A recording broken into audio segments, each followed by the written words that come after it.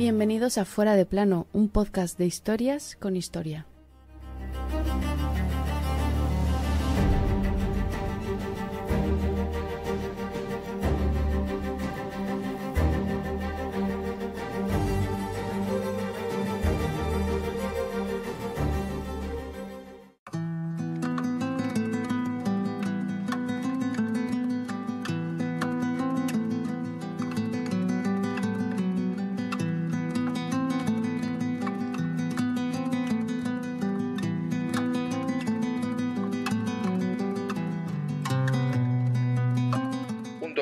Excluye de la nacionalidad a todos los que no lo profesan, sea un dogma religioso, político o económico, al que opone la verdadera base de la nacionalidad y del sentimiento patriótico, que todos somos hijos del mismo sol y tributarios del mismo arroyo. Meses después de dar su aclamado discurso, Paz, Piedad y Perdón, Manuel Azaña, presidente de la Segunda República Española, tenía que huir de su país con su familia iniciaba un periplo que terminó aquel 3 de noviembre de 1940 en una pequeña localidad de Francia.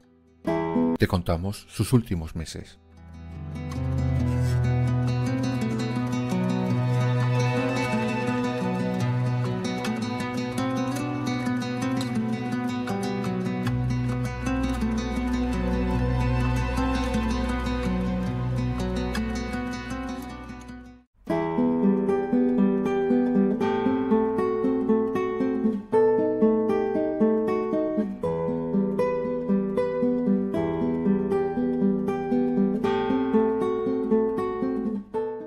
Jurista, estadista, escritor, orador, promotor de empresas culturales, melómano, bibliómano e hijo predilecto de Madrid, al contribuir decisivamente a sus transformaciones urbanísticas durante la Segunda República.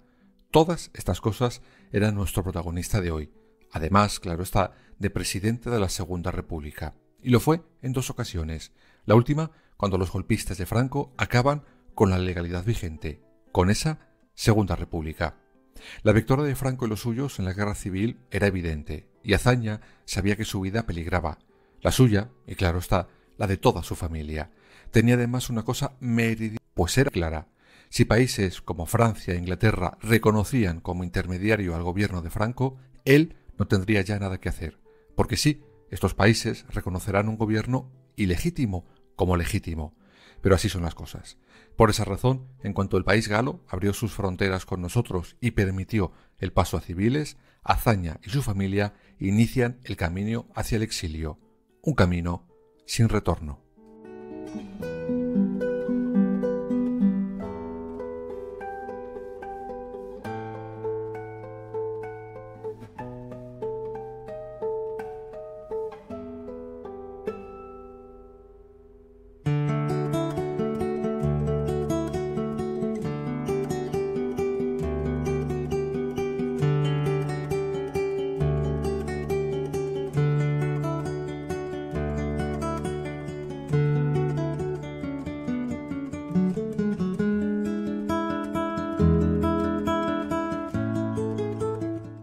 El 5 de febrero de 1939, Azaña cruza a pie la frontera francesa.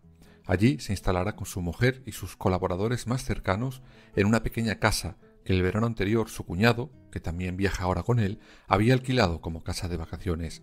Desde allí le confirma al embajador español en Francia que el día 8 irá a París. Allí se reúne con una diputación permanente de aquel Congreso de los Diputados, en el exilio, claro está, y allí algunos le llaman traidor a Azaña, pues éste sigue en sus trece de no regresar jamás a España. Esto se produce el 29 de febrero de 1939. Dos días antes, Manuel Azaña había comunicado su irrevocable dimisión.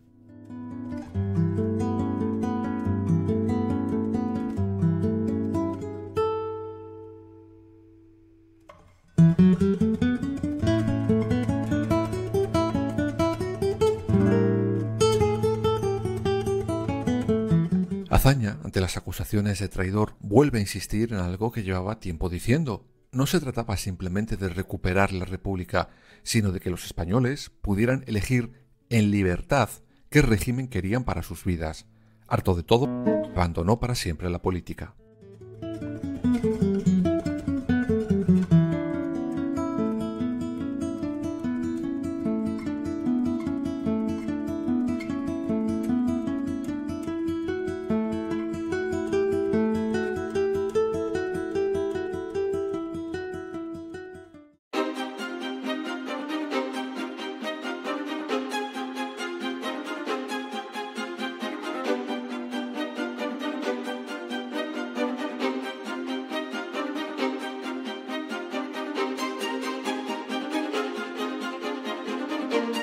La vida en el exilio de Manuel Azaña y su familia no podía haber arrancado de una forma más accidentada, visto lo visto.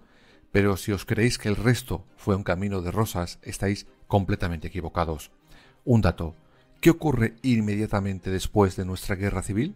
Efectivamente, la Segunda Guerra Mundial.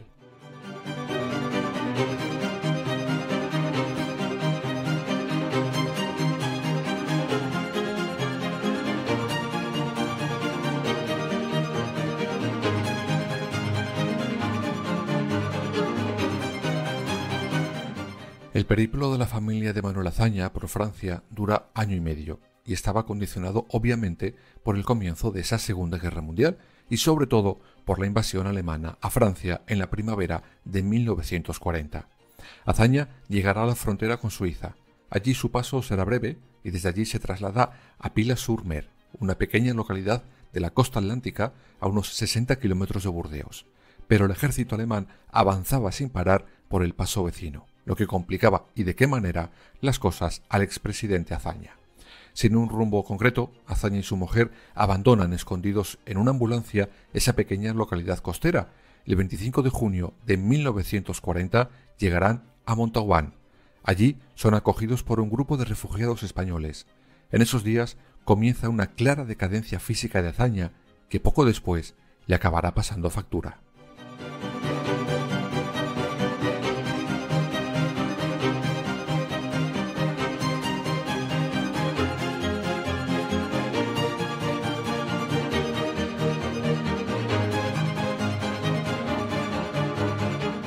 Y es que la policía española y la Gestapo francesa iban persiguiéndole los talones a Zaña. ¿Pero por qué esta persecución? Pues había dos personas muy, pero que muy interesadas en echar mano a Zaña, llevarlo a Madrid y, digamos, exhibirlo como cabeza de turco y el responsable de todo lo ocurrido en nuestro país. Uno era el nuevo embajador español en Francia, José Félix de Lequerija, este ha pasado a la historia por su afán persecutorio de cualquier republicano que estuviera exiliado en nuestro país vecino. El segundo, Ramón Serrano Súñer, cuñado de Franco y gran amante del mundo nazi. Qué cosa más rara, ¿no?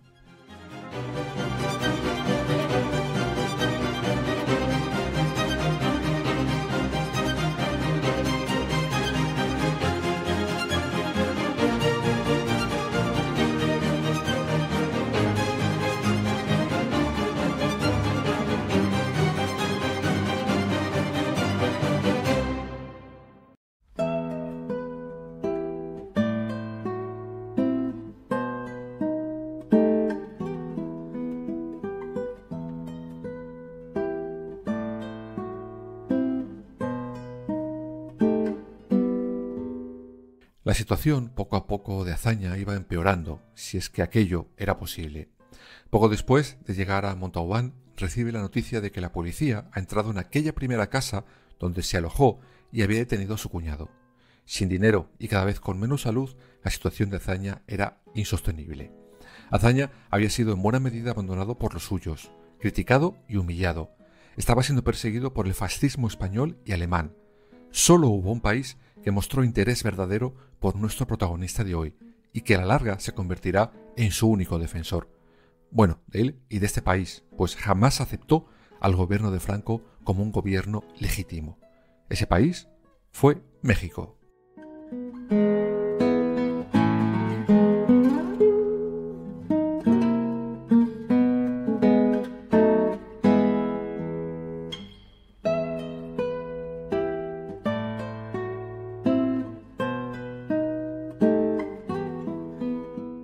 Allí, el, digamos, embajador de México, Luis Rodríguez, planea, según las órdenes del presidente mexicano Lázaro Cárdenas, llevarse a Zaña y a su mujer a la casa que tenía en la localidad de Vichy y desde allí sacarle rumbo a México donde pasaría su exilio de una manera mucho más cómoda y sencilla. Pero el prefecto de Montauban les dice que Tururú, que de allí no sale ni Dios, sino de que todos confinados.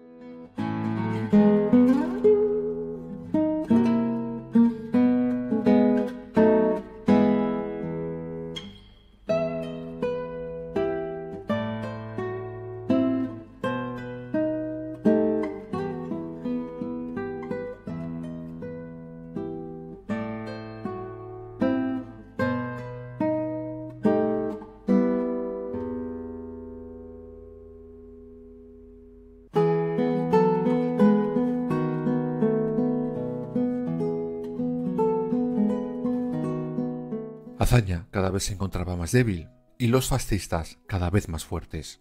Por eso, el embajador mexicano decide alquilar una habitación del Hotel du Midi allí en Montauban. Allí reside Azaña desde el 15 de septiembre de 1940. Y para evitar intentos de asesinato, secuestro o detenciones, lo declara una extensión de la embajada mexicana en Francia. Es decir, tenía inmunidad diplomática. Allí no podrían poner un pie, pues era tierra mexicana.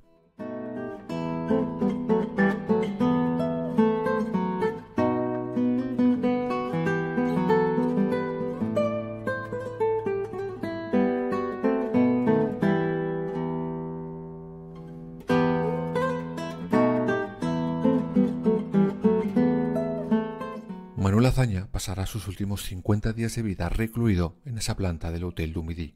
Su salud cada día era peor, tanto que a finales de septiembre Azaña recibe la visita de un dirigente socialista al que le dice, ya me ve, tengo una cosa en el pulmón derecho, otra en el izquierdo, la vista, la boca, estoy hecho una zambomba. El embajador, por su parte, seguía intentando que le dejaran llevarse a Azaña de aquel hotel y ponerle rumbo a México, pero las autoridades nazis francesas se lo siguieron negando una y otra vez. El 3 de noviembre de aquel 1940, por la noche, el último presidente de la República, antes de la sangrienta guerra civil, moría en aquella habitación de aquel Hotel du Midi, de aquella delegación mexicana que le protegió hasta el último momento. Ahora había que enterrarle, y hasta en eso el fascista de Franco tuvo que intentar humillar a Manuel Azaña.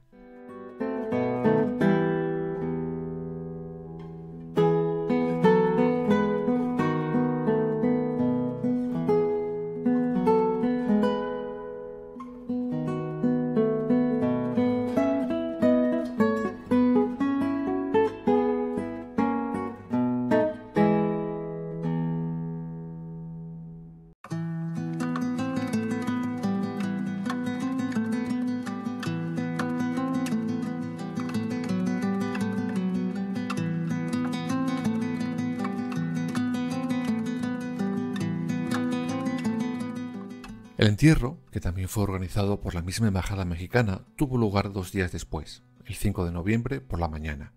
La intención de Azaña era que en su féretro estuviera puesta la bandera republicana española, pero las autoridades nazis francesas, por petición evidentemente española, se lo negaron.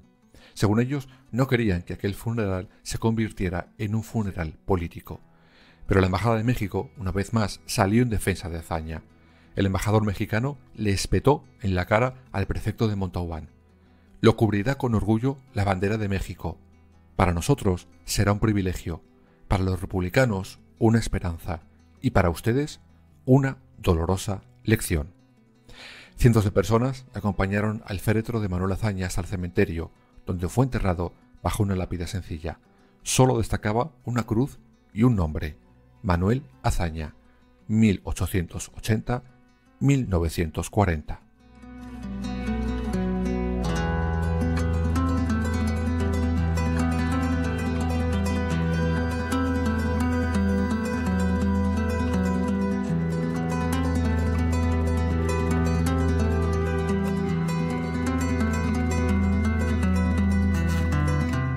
Y allí permanece desde entonces. Hay quienes quieren traer sus restos de vuelta, pero su familia se ha opuesto siempre y lo hacen con una buena razón. Las palabras del propio Azaña. Que propaguen mis doctrinas si se cree conveniente, pero mi cuerpo es de la tierra donde caiga. Y cayó allí, en Montauban, por defender la democracia, la paz y la libertad.